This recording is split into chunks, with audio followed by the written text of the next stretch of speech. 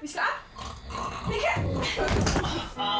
Godmorgen YouTube! Vi er lige nu på vores aller sidste rejse sammen uden baby. Det er sådan lidt blandet følelser. Jeg glæder mig så meget til, at vi skal rejse med vores barn, ikke? men jeg tror ikke, at vi kommer til at rejse i samme stil, som vi har gjort indtil nu. Vi er på Tenerife, og vi er lige nu på et hotel i byen. Playa de las Americas. Jeg tror ikke, det er sådan, man siger det, Jasmin. Jo, fordi jeg kan godt spansk. Det er mere Playa de la America. Jeg kan sige la mela, og det betyder vist nok æble. Manzana. Og gra- gracias. Og buenos Aires. Og her er vores udsigt. Se lige, hvor fint her er. Vi har havudsigt og palmeudsigt. Det er altså rigtig flot, det her. Og vi er smuttet i træningstøjet. Fordi vi har givet os selv den udfordring, at i de syv dage, hvor vi er hernede, skal vi træne hver dag. Så der er bare én ting at gøre, og det er at komme ned i træningscenteret.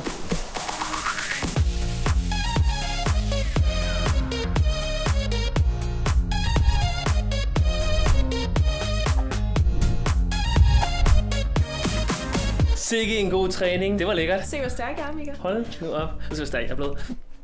Jeg er så sulten. Jeg er også så sulten. Men inden vi lige skal finde noget mad, så synes jeg altså lige, at vores følgere skal have lov til at se vores hotelværelse, fordi det har vi slet ikke vist endnu. House tour, room tour, room tour. Det er her, vi sover. Det er mega lækkert. Vi har en stor dobbeltseng. Det er faktisk ikke en dobbeltseng. Det snyder altid. Så har vi den største 80-tommers fladskærms tv. Det nyeste er det nyeste. Ja, Mika, det der det er altså ikke 80 tommer. Jamen, det er i hvert fald over 20. Ja, det er rigtigt. Så hvis vi fortsætter herind, så har vi vores mega fine walk-in closet. Og her er vores køkken. Det bruger vi ikke så meget, fordi vi spiser faktisk rigtig meget ude. Men lidt har vi brugt det. Her er i hvert fald lidt opvask. Det her det er vores badeværelse. Og I skal lige høre det mest akavede, der skete lige før. Jeg har lige været i bad. Står helt nøgen. Mika han sidder på toilettet. Og så kommer room service simpelthen ind. Og vi hører dem ikke rigtigt. Og hun åbner bare døren ind her til badeværelset. Hallo. Jeg står bare helt nøgen. Og hun sagde, Hola. Fordi der er meget varmt hernede, og vi skal huske at drikke væske, så har vi selvfølgelig stakket køleskabet. det var ikke det køleskab, jeg hovedet på til faktisk. Der var yoghurt og random ting. Nå, så, og så har vi jo vores lækre altan. Og nu tænker jeg altså, at vi skal ud i byen og få os et godt måltid mad, fordi vi har trænet, og vi har ikke spist noget næsten i dag. Jeg har spist en yoghurt. Jeg har spist to. Ups. Her har vi ligget og solet os de sidste dage. Det er ligesom pool, snø, der hører med til hotellet. Det er simpelthen poolsne, der hører med til hotellet. Men helt ærligt, er det ikke lækkert eller hvad?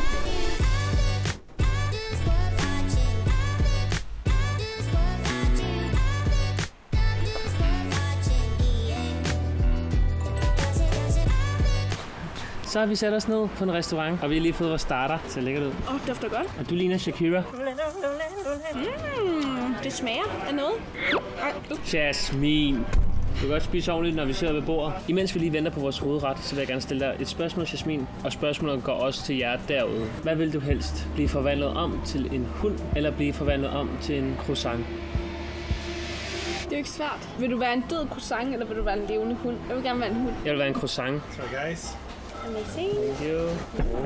Thank you. Thank you. Du har godt nok en lille portion der. Det er virkelig en lille portion, de har lavet. Der kunne godt have været lidt mere i den tallerken, synes jeg. Og så har du bare fået den her. Ja, men Mika, det er jo fordi, jeg er gravid, ikke? Det kunne man se. Det er rigtigt. Heldigvis så deler Jasmin og jeg jo altid. Åh, oh, nej, det gør vi ikke i dag. Nej, der er for lidt mad der til mig. Du er blevet sådan helt savage, efter du er blevet gravid, føler jeg. Jamen, jeg skal have min mad, ikke? Sassy man.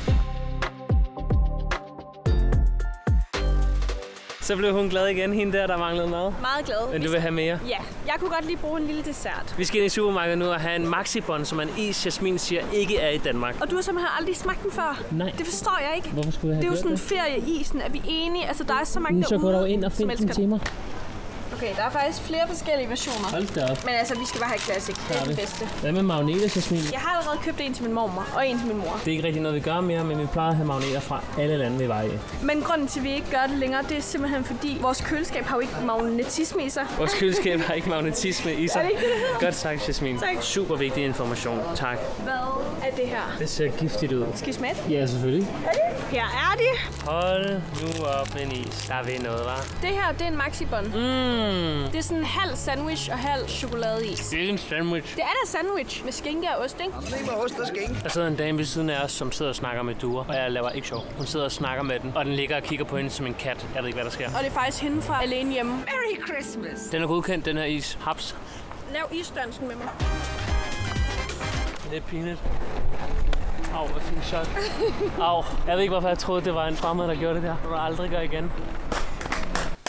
Vi er jo kommet i det fine tøj nu, fordi vi skal på pregnancy shoot. Jasmin har booket et fotoshoot med en professionel fotograf, hvor vi skal ned på stranden og tage nogle billeder. For du vil gerne have nogle romantiske billeder med den her bomb. Ja, og så er det også bare fordi, at vi er på Tenerife, og det er ret nice at kunne tage nogle billeder her. Og så hende her fotografen er faktisk virkelig dygtig. Så jeg tænkte, hvorfor ikke? Giv det et skud, ikke? Lidt billeder til Instagram. Det er i hvert fald lige noget for dig. Jeg er lidt mere sådan, det er meget sødt, men jeg ved ikke lige, hvor meget jeg kan magte det. Jeg har booket to timer, det normalt er en time, så vi har altså lidt tid foran os. Og Jasmin har været sådan, Mika, du skal have flere outfits med. Vi skal have outfits, der matcher. Det hele er planlagt, og vi glæder os rigtig meget, ikke også? Jo, vi glæder os så meget. Lad os gøre det. Inden vi lige tager afsted, skal vi så ikke lige have en lille hurtig bomb update. I morgen går jeg ind i uge 31, og det er altså ret crazy. Vi er jo i tredje trimester nu, så maven den er altså også godt voksne. Den er bare større og større på hver video, vi laver. Ja, det er meget hyggeligt faktisk, at I kan følge med i, hvordan den vokser. Og vores pige, hun vejer halvandet kilo nu, så det er altså alligevel halvanden liter mælk. Hvorfor skal vi bruge mælk hver gang til at sammenligne? Så ved man lidt, hvor meget den vejer. Ja, okay. Ja. Og så er hun omkring 37 cm lang. Wow. Her er vores to fotografer, Lucilla og Filippo. Hallo. Hallo. Vi skal tage nogle billeder nu, og vi har fundet den her flotte gang, hvor vi starter i de her outfits. Filippo vil gerne filme lidt, mens vi tager nogle billeder. Thank you very much, Filippo. ja.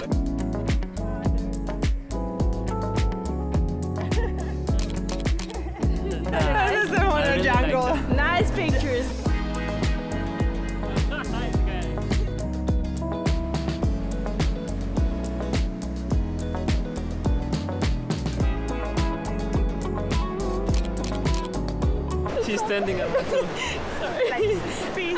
Jeg står lige på Mikas tær, så det gør lidt nu. Er det okay? Yes. Godt arbejde, så skal jeg lige branden her. Det er nogle gode billeder, Mika. De bliver rigtig gode. Vi er meget glade for dem. Det bliver skide godt at prøve at se, hvor flot der er. Nu er der virkelig golden hour. Og vi har lige fået skiftet til det sidste outfit. Vi har lige haft en lidt mere beachy look. Og nu er vi over i de her sådan lidt bronzefarve kjole ting. Jeg ved ikke, hvad det er, jeg siger. Og du har også lige fået et outfit change her. Lad os komme til sidste location. Altså, det her ser jo så eventyrligt ud. Lucilla. Yes. okay,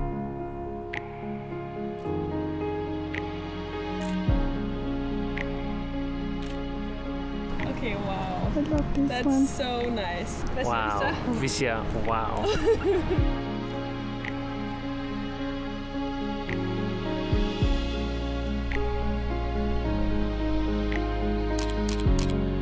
Så solen er altså snart nede.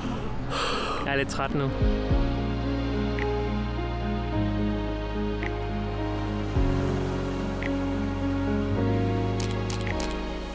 Nu har vi taget billeder i cirka to timer, og vi er færdige lige om lidt. Solen den er gået ned. Jasmin hun er i gang med de sidste billeder. Gør det så godt, Jasmin.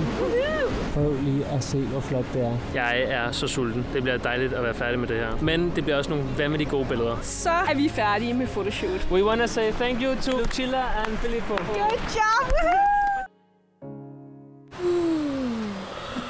Prøv lige at se en livlig by. Det er bare blevet helt mørkt nu. Super hyggeligt. Wow. Vi er på vej hen til en af vores yndlingsrestauranter, som hedder Savage. Vi har allerede spist der to gange, så nu skal vi hen for tredje gang. Når man finder en god restaurant, så er det altså bare om at prøve alle tingene på menukortet.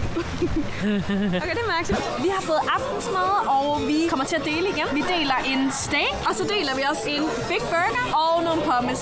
Lækkert, lækkert. Lad os æde.